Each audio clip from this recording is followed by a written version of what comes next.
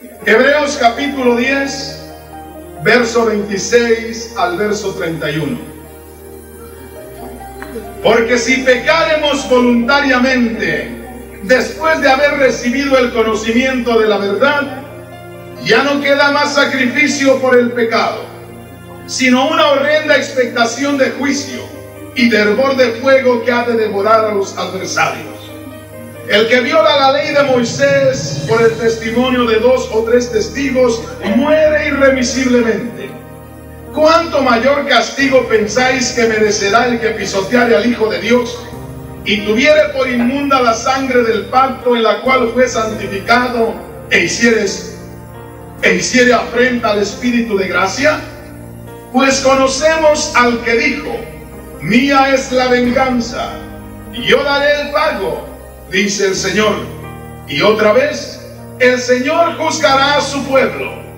Horrenda cosa es caer en las manos del Dios vivo. Gracias Dios Santo en esta noche. Una vez más te damos gracias por esta oportunidad maravillosa de estar en este lugar, en esta noche. De seguro que tú tienes algo especial para nosotros.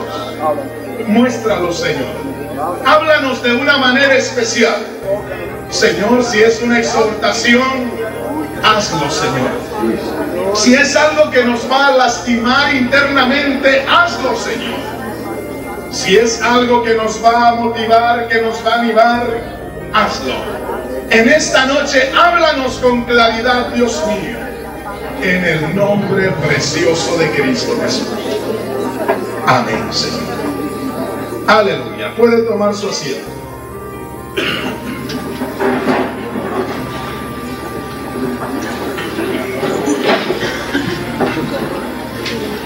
Le voy a pedir como siempre toda su atención. Hace ya algunos años que conozco de la palabra de Dios y quiero decirle que he aprendido muchas cosas en la palabra del Señor, las cuales he enseñado desde mi conversión, las cuales he creído profundamente y desde que empecé a predicar la palabra del Señor las he enseñado. En esta noche quiero serle honesto. El Señor me ha estado hablando de una manera muy especial en estos días. Y el Señor me enseña que la congregación va creciendo mucho. Y eso es hermoso. Pero que a la vez que va creciendo en número, el pecado está buscando minarse dentro de la congregación. Y el Señor me urge a que tenga cuidado. Quiero decirle, tuve la oportunidad de platicar con una pareja de jóvenes. No voy a decir sus nombres porque usted no tiene que saberlo. Tuve la oportunidad de platicar con una pareja de jóvenes en estos días, los cuales me confesaron haber caído en fornicación. Quiero decirle que esto es cosa seria. Y el Señor me urge a que le predique, a que le enseñe cómo se le sirve a Él. Claramente escuchamos constantemente la palabra del Señor que dice, porque la paga del pecado es muerte, mas la dádiva de Dios es vida eterna en Cristo Jesús. Quiero decirle, ponga mucha atención, porque nos estamos jugando la vida eterna en esta tierra.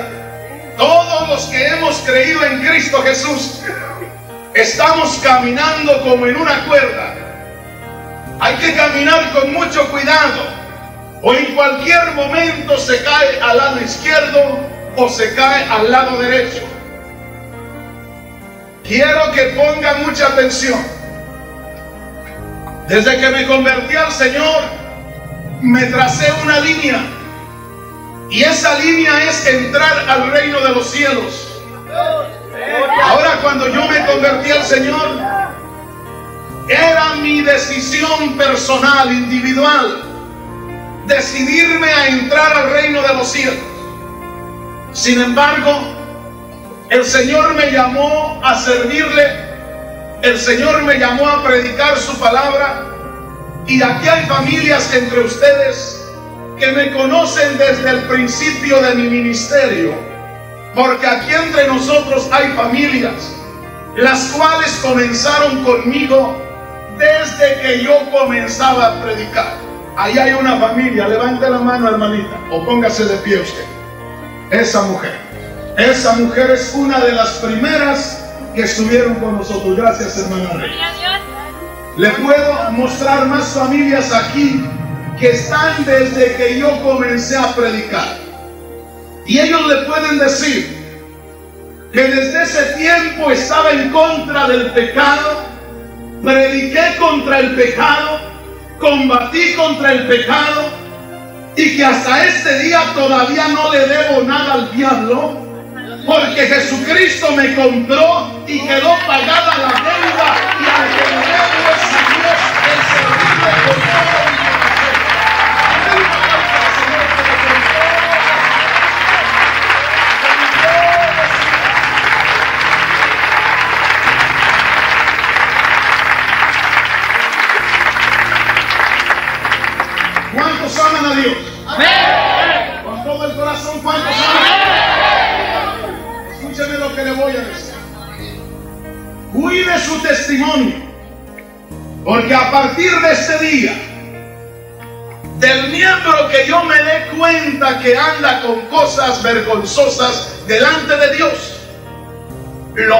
parar en medio de la congregación y lo voy a señalar y le voy a decir por qué usted le ha dado la espalda al Señor. Se lo voy a decir. Es la única manera que nos vamos a mantener limpios. Pero se lo estoy anticipando para que lo sepa, para que se cuide. Y esto es por su bien espiritual. Y ahí yo me comprometo a darle buen testimonio. Y hasta este día todavía no le he dado una vergüenza ni a Dios ni a usted. Y no pienso dársela pienso darle al Señor una satisfacción. Y no solamente yo, sino todos aquellos que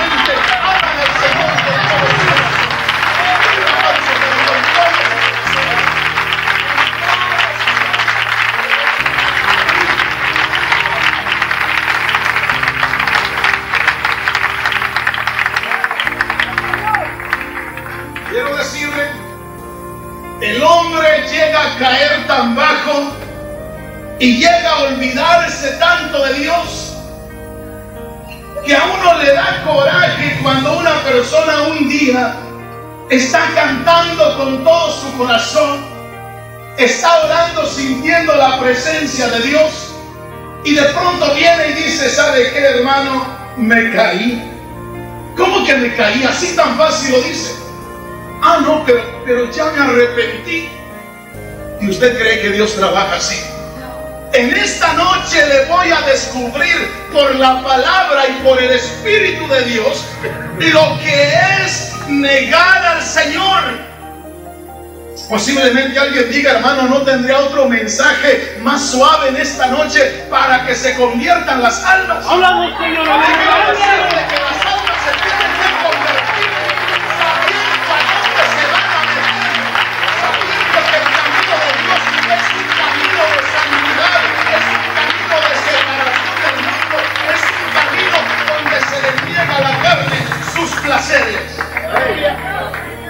¿Me entiende? Todavía no cambio mi forma de ser ni la quiero cambiar. Porque el día que la cambie ya no le sirvo a usted para nada.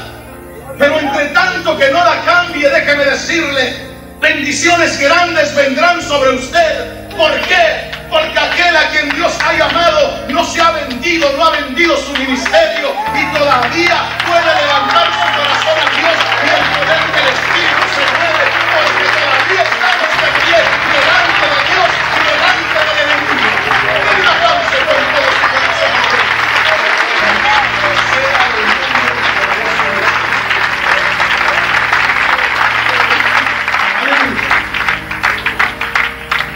Si a partir partir del día de mañana me quedo con la mitad o menos de la mitad, no importa.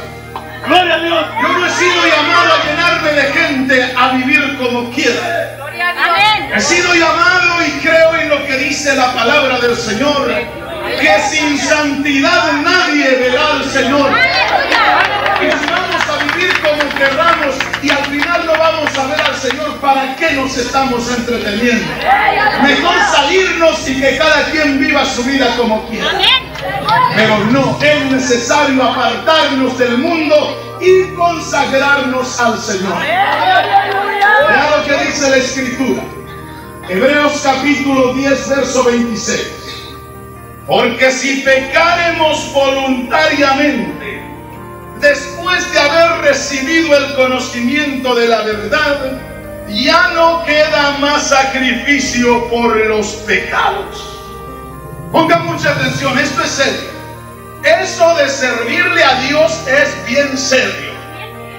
Es bien serio. ¿Hay alguno de ustedes que está aquí que es ciudadano americano?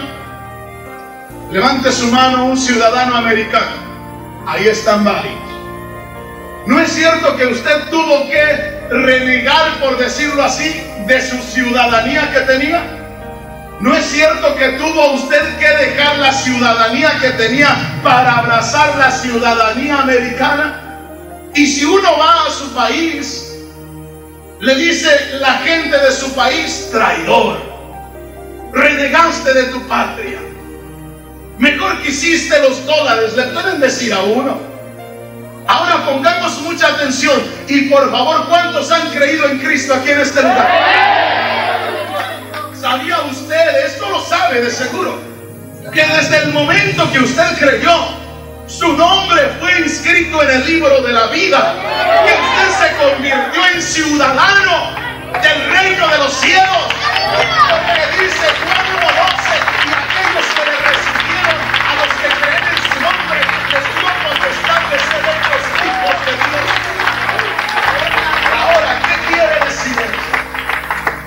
Que cuando yo escuché las noticias del reino de los cielos, yo me di cuenta que estaba viviendo como ciudadano del reino de Satanás y que estaba condenado eternamente. Y cuando escuché la palabra de Dios, eso fue para mí algo especial. Me di cuenta que podía liberarme de aquel sistema de vida y que podía abrazar un nuevo sistema, que podía ahora ser hijo de Dios. Entonces renegué de mi, ciudadanía con Satanás. Entonces rechacé esa ciudadanía que tenía con Satanás y yo me declaré hijo de Dios por la fe en Cristo. O sea, yo dejé mi ciudadanía con Satanás y abracé la ciudadanía celestial. Desde ese momento ya no cuento para Satanás. Dios me compró con la sangre de Jesús. O sea que no se pagó cualquier cosa por mi rescate. Se pagó la sangre del cordero. Ahora cuando yo vengo y le sirvo al Señor por un tiempo y de pronto vuelvo a envolverme en el pecado, tengo que renegar de mi ciudadanía celestial. Tengo que decirle, mira Dios, ya caminé tres años contigo, pero sin embargo me he guardado de muchas cosas que me hacen falta, que las necesito, que me llaman la atención. Y Dios le dice, pero hijo, hija, me has costado un precio elevado. He pagado con sangre. Y es como decirle a mí que me importa. A mí me interesa más la pasión. Pasar una noche con esa joven y a la mujer me interesa más pasar la noche con ese hombre. A mí no me importa, Dios, lo que hayas hecho por mí. Pero hijo, ya eres ciudadano del reino de los cielos, pues quédate con tu ciudadanía, no me importa, no la quiero. Pero tienes que renegar públicamente, reniego públicamente, no quiero nada contigo. Eso es lo que dice el que da la espalda al Señor. Pero hijo, y la sangre de Cristo. Para mí es cualquier cosa la sangre de Cristo, es lo que dice esa persona. Aquí lo dice en la palabra del Señor. Si pecaremos voluntariamente después de haber conocido la verdad, ya no queda ninguna oportunidad. Déjeme decirle, y le voy a disipar la nube de engaño espiritual que viene a su mente. Porque hay muchas personas que están sintiendo el llamado del pecado y le están haciendo caso al pecado. Y ya están pensando, bueno, ¿y qué tal si me caigo un ratito? Al fin que al rato me arrepiento. Yo sé que Dios es misericordioso. ¿Así? Y tienes la seguridad que te va a recibir otra vez. ¿Crees que el Señor va a estar esperando que le des la espalda, que reniegues de la sangre de Jesús y luego que vengas y le digas, Señor, ya fui a pecar, me sentí mal, pero ya estoy aquí? Déjeme decirte, de mil que caigan en el pecado voluntariamente, puede levantarse uno si es que Dios tiene misericordia. Pero puede ser que no se levante ninguno. Y ahí ande como el conejo saltando de planta en planta, de mata en mata, como dice. Que a veces unos días anda de pie y a veces se anda arrastrando en el lodo. Pero ¿qué va a pasar al final de la jornada? Solamente hay una persona segura. Es aquella que se mantiene limpia es aquella persona que se mantiene alejada del pecado y siempre buscando del Señor. Es la única persona que tiene la seguridad reino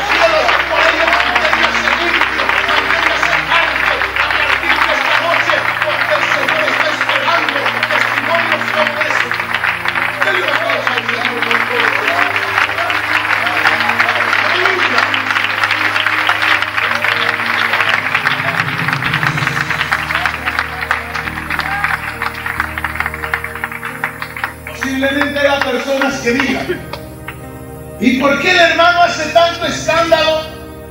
Porque alguien en la iglesia fornique. ¿Por qué hace tanto escándalo? Casi por nada. Yo me puedo hundir en las profundidades del infierno si yo no levanto la voz y hago escándalo. Yo me puedo hundir juntamente con todos ustedes y puedo dejarle la puerta abierta a Satanás porque una persona que peca en la congregación es aquella que voluntariamente le abre la puerta a Satanás para que entre, le abre la puerta al lobo para que entre al aprisco, para que entre al rebaño y para que lo destruya. Pero cuando el Señor nos habla, nos enseña, lo que tenemos que hacer es que haya limpieza, es que haya humillación, es que haya arrepentimiento delante de Dios, es que pongamos guardia para que el pecado no entre y el diablo salga avergonzado, porque necesitamos mantenernos firmes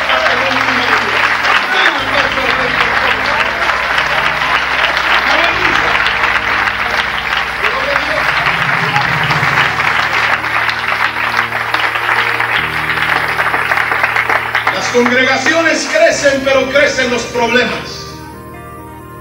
Cuando una congregación crece, también se mezclan personas que en ocasiones en otras iglesias están pecando. Y dice, como en esa iglesia hay mucha gente, pues llego entre toda la gente, voy y me gozo y me salgo. Y voy con la persona que no es mi esposa o con el hombre que no es mi esposo, voy con él y salimos, es mucha gente. ¿Quién lo va a notar? Yo le voy a decir si hay alguien aquí que viene con esa intención. o se convierte, o se arrepiente, o mejor siga su camino. Porque no vamos a hacer lo que dijo el Señor. Mi casa no es casa, no es cueva de ladrones. El lugar donde nos reunamos tiene que ser un lugar donde, claro, venimos destrozados, venimos llenos de pecado, venimos llenos de inmundicia, pero venimos a convertirnos y venimos a vivir como a Dios le agrada y a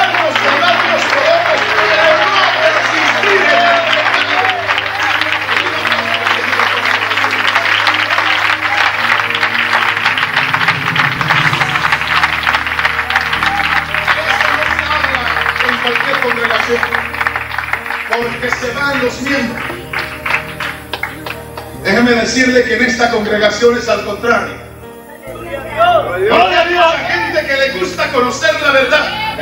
En de irse le cuenta a otras personas y le dice, me gusta en mi iglesia porque me dicen las verdades así como son. Me gusta porque me están encaminando al reino de los cielos.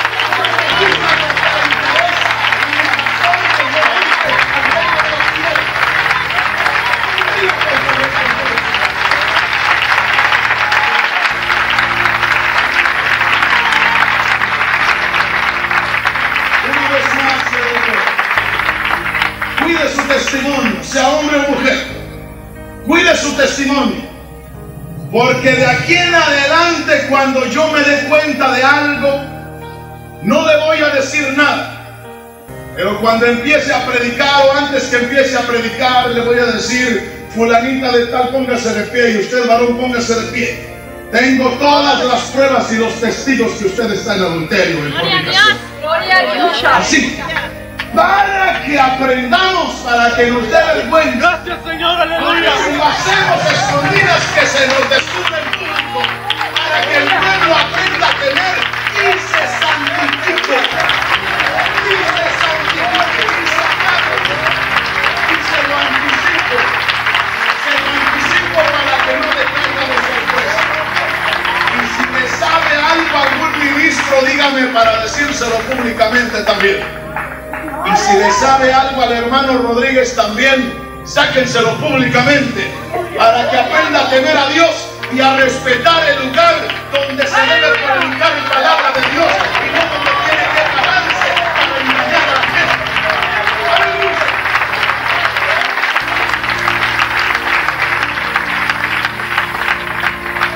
Ponga atención en la palabra del Señor. Esto no se usa en estos días casi. Gracias, Señor. Hebreos capítulo 10, verso 26. Porque si pecaremos voluntariamente después de haber recibido el conocimiento de la verdad, ya no queda más sacrificio por los pecados. Veamos lo que dice el verso 27. Sino una horrenda expectación de juicio y de hervor de fuego que ha de devorar a los adversarios. El que viola la ley de Moisés por el testimonio de dos o tres testigos muere irremisiblemente. ¿Cuánto mayor castigo pensáis que merecerá el que pisoteare al Hijo de Dios y tuviere por inmunda la sangre del pacto en la cual fue santificado e hiciere afrenta al Espíritu de gracia? Dice, ¿qué piensa que va a suceder a aquel que tuviere por inmunda la sangre del nuevo convenio? ¿Por qué la tiene por inmunda? Porque dice, a mí me da lo mismo, de nada me sirve eso. Duré unos meses en el camino, hoy me vino la tentación, pues quiero gozarme con las cosas de la carne. Ahí después vengo, Dios, para arrepentirme. La pregunta que yo le hago, ¿quién tiene la seguridad que Dios le va a perdonar? Es más fácil 100% que vengan 100 de los más viles pecadores de este mundo y en esa noche se entreguen al Señor y los perdone a que venga una persona que habiendo conocido al Señor, Dios le perdone. ¿Por qué?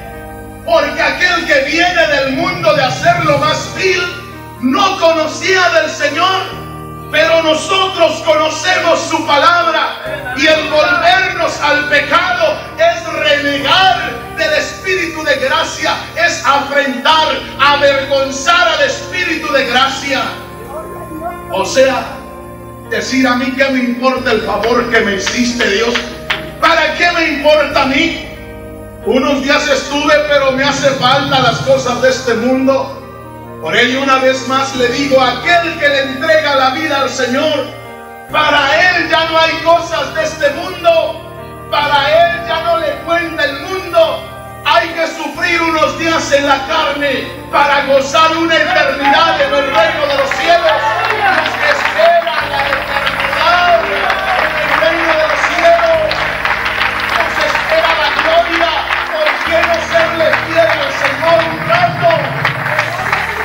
¿Estamos entendiendo? Le voy a decir otra cosa que no se dice en las iglesias en estos días. Háblanos, Señor, aleluya. Hermanas, mujeres, mírense al espejo cada día. Vean sus ropas. Véanse los escotes del vestido a ver si no está muy bajo. Para que no provoque a los hombres. Eso no se lo van a decir en cualquier iglesia. Ve hasta dónde trae el vestido, no vaya a ser que se le vean partes íntimas y el hombre peque. Digo, si usted es cristiana, si usted es mujer de Dios, si ha nacido de nuevo, nadie dice amén.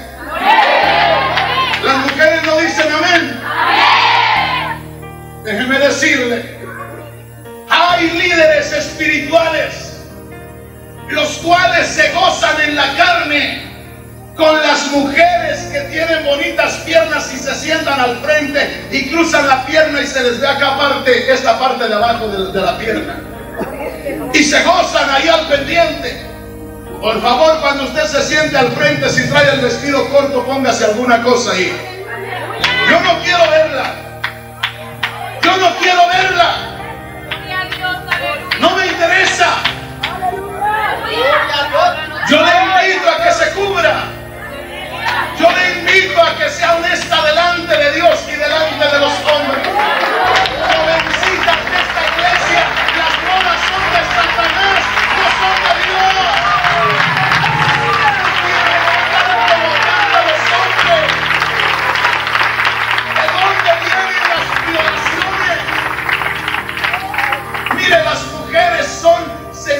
Son sinceras. Las mujeres tienen sentimientos nobles.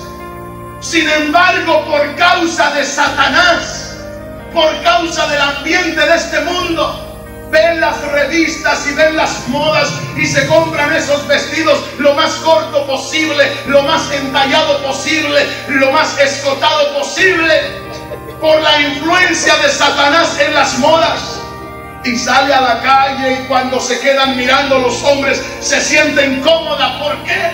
Porque allá adentro tiene pudor. Dios la formó con pudor, con vergüenza, pero por causa de la moda en ocasiones soporta esa vergüenza y así sale para que la vean. Pero el día que la suben a un carro cuatro o cinco jóvenes, ese día hubiera querido jamás haber provocado a esos jóvenes.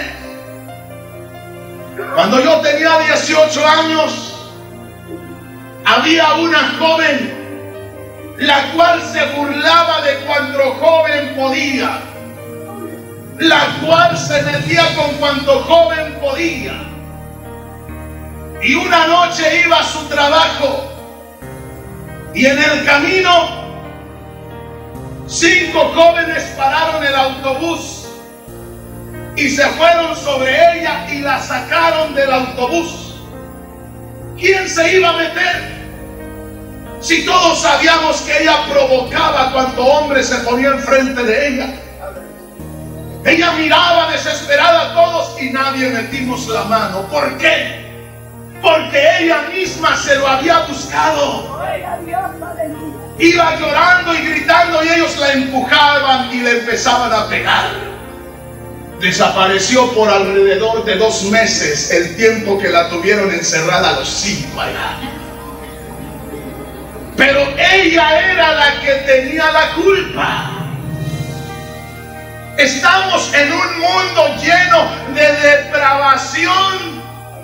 El pueblo cristiano tiene que abrir sus ojos. Jovencita, no hagas caso a las modas, hace caso a la palabra de Dios. Haz caso a la palabra de Dios para que no sufra.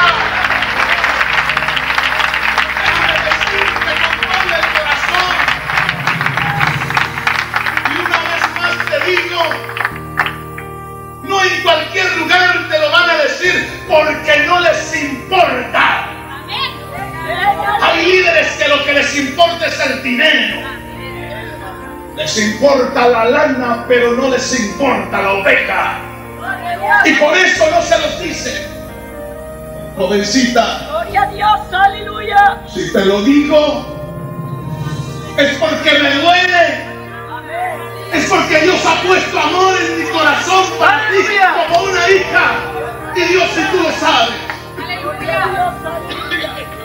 Porque no quisiera un día saber que te hicieron daño por causa de que tú provocaste. Apártate de las modas, de las cosas que te van a, a dar problemas. Santifícate para Dios. Busca de la presencia de Dios. Porque el día que eso sucede, ve uno a la persona, usted ve a toda aquella joven que ha andado en los bailes, en las fiestas, y ahí le sucede algo. Véalas después, cuando ya las encuentran vivas de casualidad, vea cómo sufren y cómo lloran. ¿Pero por qué? Ahora, el mundo no tiene quien le avise. Hermano, hermana, tú sí tienes quien te avise. Tú sí tienes quien te hable. Sí tienes quien te alerte. Por un lado, la provocación. Por ello muchas veces le damos lugar al pecado. Yo quiero decirle, yo he tenido muchas tentaciones y ha habido mujeres que se hacen pasar por hermanas y me han llegado a decir cuando estoy en consejería solo con ellas, hermano, yo lo quiero mucho. Y yo le digo, yo también, hermanita. ¿Verdad que es de Dios? Si es de Dios. Yo la quiero como una hija. Porque Dios me ha dado un corazón de siervo de Él. Y la quiero como una hermanita. Yo no puedo quererla de otra manera. Posiblemente si no estuviera en el Señor, ni una mujer me dijera nada. Pero como estoy en el Señor, frecuentemente tengo esos problemas. Pero ¿qué es lo que he hecho? Hay alguien que no merece que yo le dé la espalda. Soy ciudadano reino de los cielos. Y tendría que renegar de mi ciudadanía que costó la sangre del maestro. Ahora vea lo que dice. El que pecare voluntariamente después de haber conocido la verdad, no le espera más que una horrenda expectación de juicio que ha de devorar a los adversarios. Eso es lo que espera. O sea, usted no vaya a esperar que va a pecar y se va a arrepentir y Dios le va a perdonar. Hay hermanos tan engañados que me han dicho así, sinvergüenzamente, como decimos los mexicanos. Hermano, he caído en el adulterio. Así. Sí. Pero ya me arrepentí y yo siento que ya Dios me perdonó. ¿Quién te dijo eso? ¿Crees que es nada más pecar y levantarse y decir, yo siento que ya Dios me perdonó? ¿Quién te lo asegura? Si has pisoteado el nombre del Señor, has renegado contra la sangre de Cristo. Posiblemente tú digas, hermano, lo dice de tal manera que hasta me siento culpable, sin tener nada. ¿Sabes que necesitamos mensajes que nos hagan temblar aunque no debamos Cuando el Señor reunió a sus doce apóstoles, les dijo en esta noche, uno de ustedes me va a entregar. Se los dijo de tal manera que cada uno le preguntaba y le decía, seré yo, Señor. ¿Para qué preguntar si no debía nada? Pero qué precioso es cuando el Espíritu comienza a escudriñarnos. Y uno siente que aunque no deba nada, pero lo hace temblar aquello. ¿Por qué? Porque es la voz de alerta del Señor. El asunto no es nada decir voy a pecar y luego me arrepiento, porque el diablo es muy mal consejero y le dice, mira, no te va a pasar nada. Así le dijo a Eva. Dios sabe que el día que coman de este fruto van a ser como Él, no te creas. Dios no los quiere, Dios no quiere que sean como Él, ustedes coman. Y tan pronto como comieron, Dios dijo, he ahí el hombre como uno de nosotros. Gloria a Dios. No estaba diciendo Dios, ahí está el hombre, el hombre que es semejante a Dios, no se lo dijo en un tono irónico. Ahí está el aspirante a Dios. Ahí está aquel al cual se le dijo, van a ser como Dios, coman, ahí está. ¿Fueron acaso como Dios?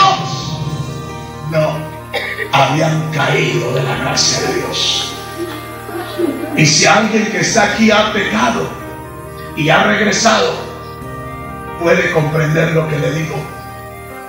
Un día me dice un hermano, Hermano, si uno ha pecado y luego siente que Dios le ha recibido, y le digo, debería de servirle a Dios arrastrándose en el piso.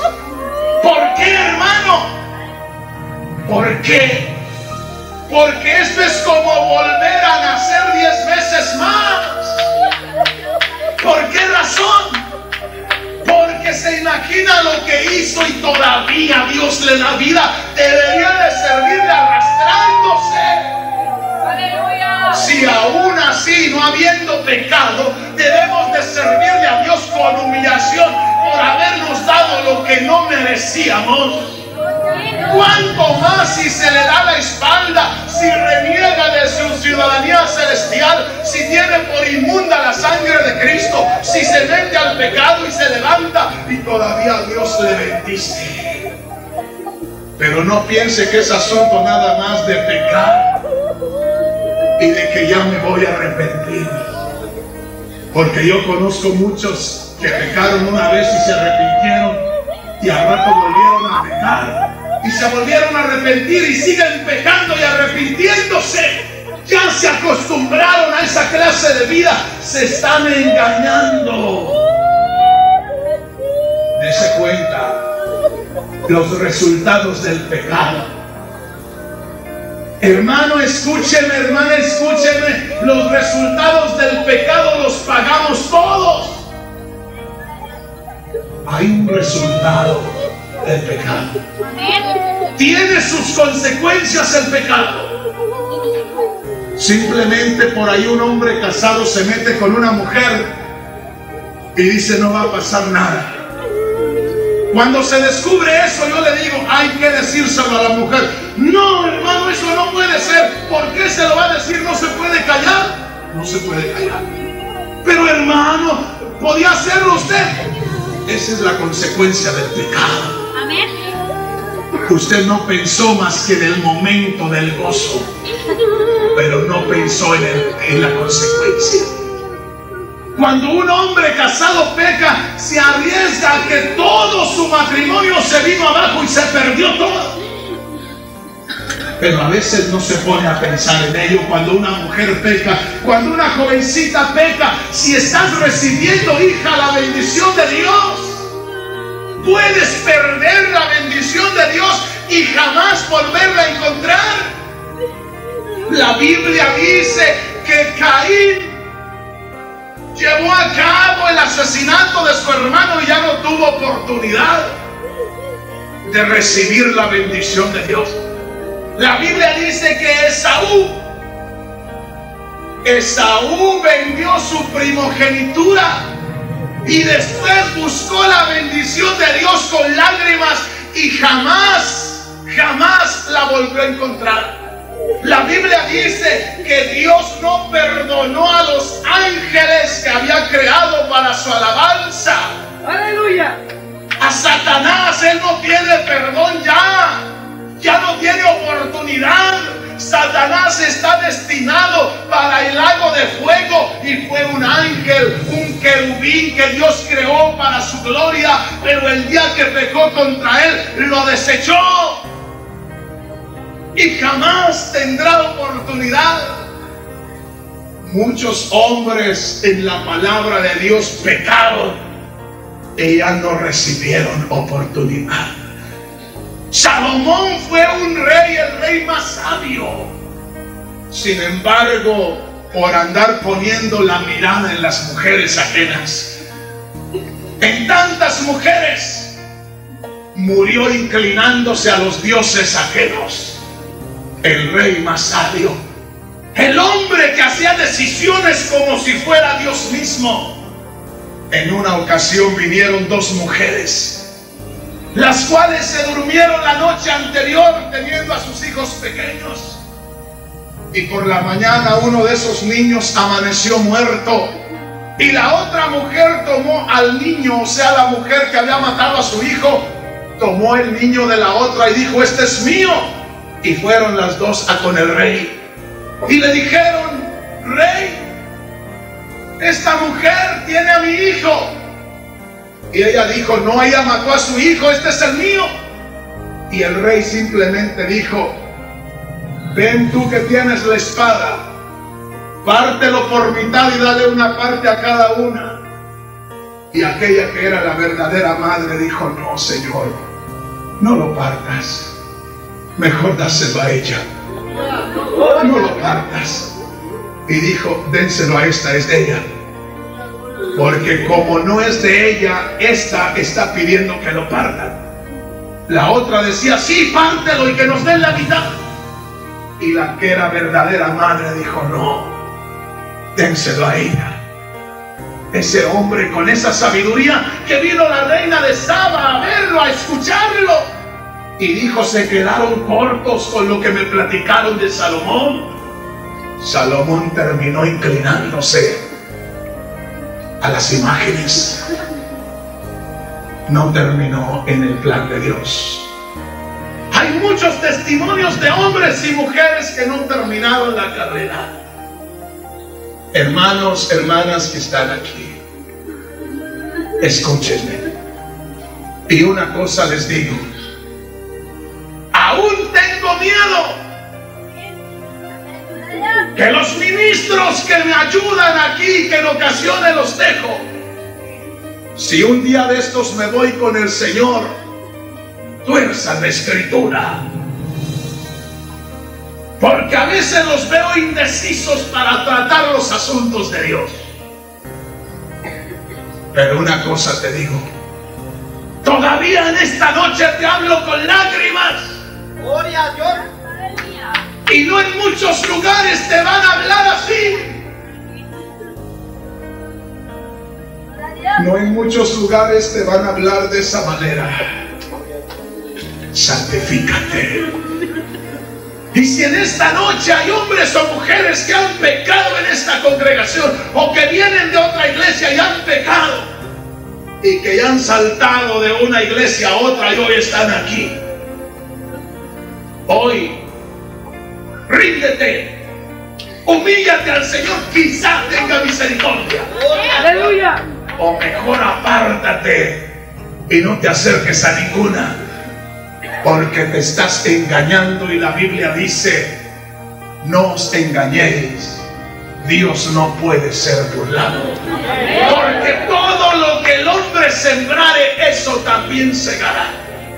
Le voy a estar pidiendo a Dios que en esta congregación Él saque inmediatamente a los adúlteros y a los fornicarios, aún por las enfermedades de SIDA,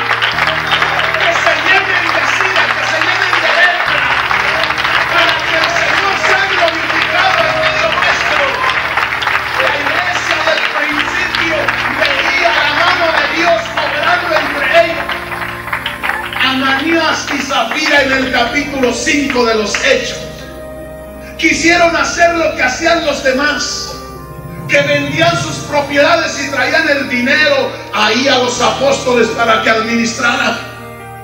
Vendieron su propiedad y solo se pusieron de acuerdo y dijeron, la hemos vendido en tanto, vamos a llegar a los apóstoles. Vamos a sacar una cantidad y le vamos a decir que en esto vendimos la propiedad y eso le entregamos. Cuando llegan delante de Pedro, al llegar a Ananías y poner la cantidad, le dijo Pedro, ¿en esto vendiste tu casa, Ananías? Y Ananías dijo, en eso. Y le dijo, ¿por qué has mentido al Espíritu Santo? ¿Acaso Pedro quería el dinero? No. No le importaba el dinero, lo que le importaba era que Ananías había mentido y la mentira le costó la muerte. Porque en ese momento Ananías cayó muerto. Y se fue, sacaron unos jóvenes al cuerpo de Ananías. Y como a la media hora entró la mujer de Ananías y le dice Pedro, ¿es cierto que en esta cantidad se vendió la propiedad, ella dijo, es cierto. Y dijo, mira, todavía se ven los pies de tu esposo que van saliendo donde lo van arrastrando. Y así como lo sacaron a él, te van a sacar a ti. Parece que Pedro estaba dictaminando la muerte de esas personas, pero no era Pedro.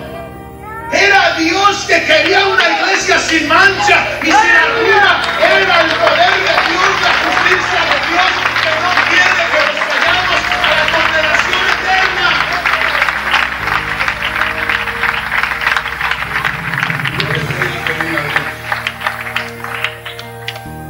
comience a obrar con poder. Aleluya. Porque si no hacemos esto los líderes, viene el tiempo más difícil. Donde no solamente los miembros, sino hasta los líderes vamos a andar con todas esas cosas. Pero yo creo que Dios es justo. Y que Él conoce el corazón. Que Él sabe que lo que le estoy diciendo en esta noche es el hijo de corazón. Y quiero decirte, hermano, hermano, he aprendido a amarte. He aprendido a verte llegar, a saludarte. He aprendido a verte bendecido, bendecida por Dios en esta iglesia. Y no quisiera verte un día envuelto, envuelta en el pecado. He aprendido a verte gozar en las cosas de Dios. Y no quisiera un día verte triste y alejado, alejada de Dios. La misión que Dios me ha dado es llevarte allá donde Él nos está esperando. Ese es el plan del Señor para ti, para Si esa es la falta que yo tengo, perdóname. Pero el único deseo que tengo es que Dios reciba una satisfacción tuya y mía. El único deseo que tengo es llegar a su presencia y llegar con un ramillete de rosas, de flores hermosas, llegar con una gran carga de gavillas. Ustedes son hermanos esas gavillas preciosas las cuales tengo que entregar un día a aquel que me ha encomendado este trabajo. Hermano, hermana, oye la voz de Dios. Santifiquémonos para el Señor. Hoy nos habla el Señor de una manera clara, porque no quiere que nos perdamos